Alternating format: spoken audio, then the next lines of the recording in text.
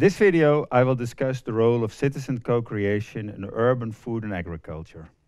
You will learn about different forms of urban food production and how they relate to the topic of co-creation.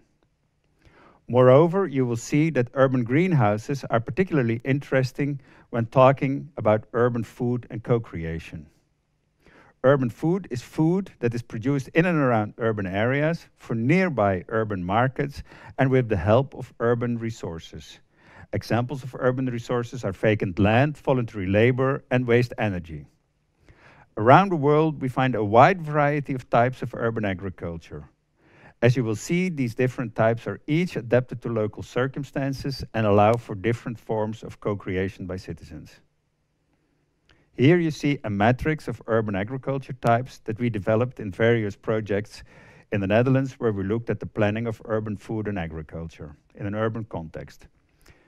The tables distinguish urban food initiatives along two dimensions, a food growing and an agronomic dimension on the horizontal axis and a spatial dimension on the vertical axis.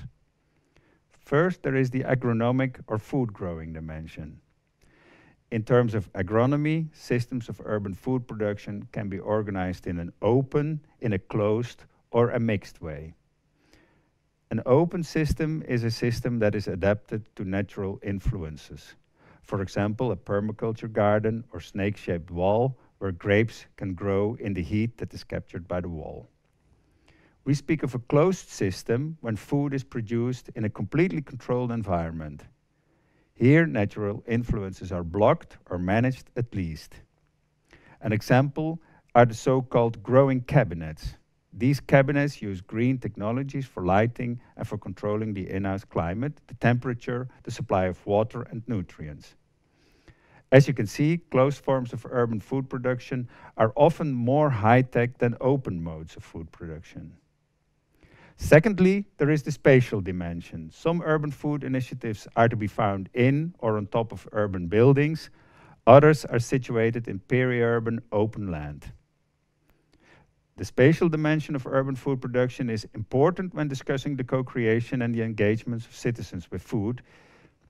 Even though urban space is sc scarce and expensive, the reason for bringing food back into the city is to reconnect the food system to the live worlds of urban populations. With regard to co-creating urban food systems, we distinguish three basic forms as shown here. On the left side of the scheme, you see that citizens can be involved as concerned consumers, for example, when they pay a fair price to farmers. On the right-hand side of the scheme, you see that they can also be more actively engaged in food production, for example, when growing food for themselves on a private allotment or together with fellow citizens in a community garden. The third form of co-creation to be found in the middle refers to citizens for, who, for example, commit themselves to buying a share of the harvest. They also can prepay the farmer at the start of the season to make him or her independent from the bank or credit supplier. This is often combined with doing all kinds of voluntary work at the farm, sowing, weeding, pruning, feeding, or harvesting.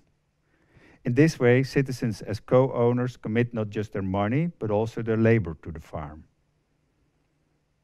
As you see, citizens can be involved in urban food production in different ways, and traditionally, the more active engagement means to cover your hands with real mud. The open systems are from community-supported agriculture to community gardens, particularly strong at this point. This in contrast with the recent emerging forms of closed high-tech circular urban greenhouses they offer high-tech solutions which require high levels of training and professionalism.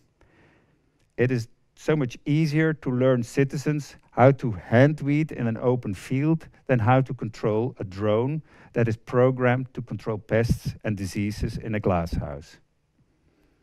To fulfill the function of reconnecting the urban population to food production in a meaningful way, the, green, the urban greenhouse should be designed in such a way that high-tech food production is combined with attractive forms of co-creation for citizens.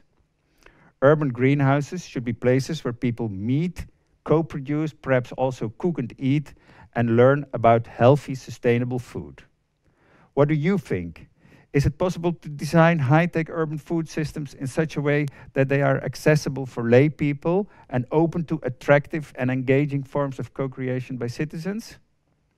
Which roles do you think to be most significant, significant for citizens when engaging food production in scarce urban space?